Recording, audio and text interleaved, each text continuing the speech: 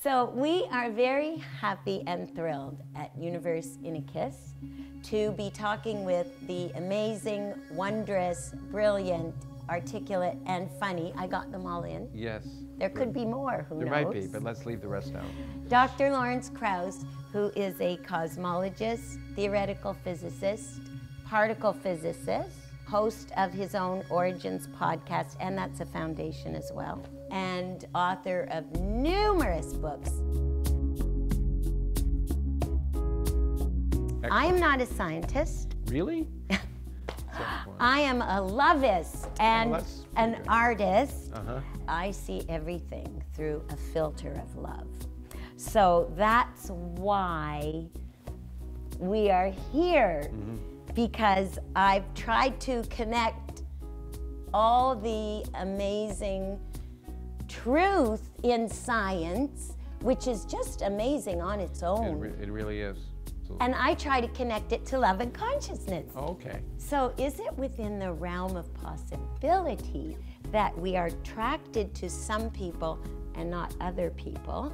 Because maybe we shared atoms that were together and then blasted apart and then together in all those billion blasts that take place in a second? No. Oh, No, but not. I mean, that's that's not likely. But let me just turn into something that is real. um, Okay. Which is that we all share atoms. Every time you breathe in, you're breathing in at least probably a, a dozen atoms from the dying breath of Julius Caesar when he said "Et tu, Brutus." And in fact, every time you breathe in, you're probably breathing in atoms that have been breathed by almost every human that's ever lived. It- So isn't so that you are you are part Julius Caesar. You're part. Pick your favorite people, your least favorite people. They're all part of you. All of those atoms uh, uh, get e- exchanged regularly, and so the notion that we're separate is really an illusion. I love that. Me too. Okay. You think we can compare love to gravity?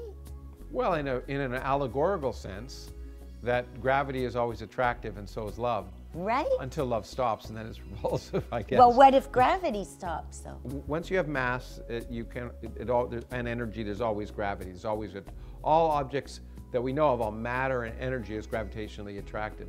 What is interesting is that there's a kind of energy that's gravitationally repulsive, and that's that's the energy of empty space. Empty space has energy. We don't understand why. The dominant energy in the universe resides in empty space. If you take a Right. bit of space, get rid of all the particles and radiation, so there's nothing there, it still weighs something. But one thing we know, due to the laws of general relativity, is if you put energy in empty space, it's gravitationally repulsive.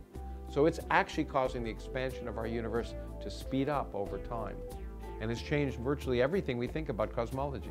Well, can't maybe we can change everything we think about love too, because we think we know some things about love, which we do, the chemical reactions Uh-huh. Yeah. and the dopamine and all Yeah, that, that- and what goes on in your brain.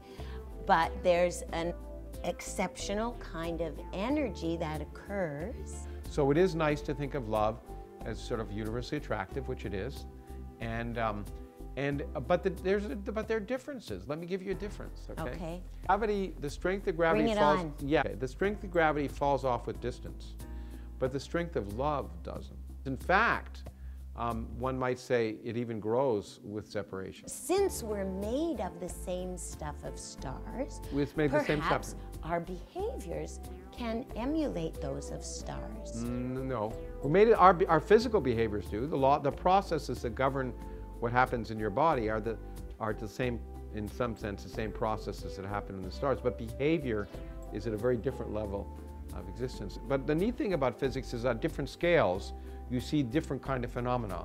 But it's very different than the kind of behavior on the scale of stars or galaxies, where really gravity is the only force operating. The, the force that governs almost everything that governs the way you live Right. your love, your hate, your food, everything you do is a force called electromagnetism. That governs chemistry. All of chemistry is governed by something called electromagnetism. Gravity is irrelevant on human scales, but on the scale of stars, gravity is everything. Isn't that fascinating? Yeah, I didn't know that. Electromagnetism is love. Well, in a sense, yes, because electromagnetism is love. There's equal and opposite charges, Right. there's attraction, repulsion. In a sense, it's a much better analogy. But it's also actually true. You can't understand love in terms of just electromagnetism. The, you, you can precisely. You, it's it's got a whole layer of complexity beyond that. That it produces eventually a complex structure that somehow is self-aware for reasons we don't yet understand, and that is responsible for. I was going to say the eternal mystery of love, but it may not be an eternal mystery. We may understand. We may figure it out. We may figure it out. Understanding makes it better. Yes, understanding what makes a rainbow a rainbow doesn't make it less beautiful. No. It makes it more beautiful.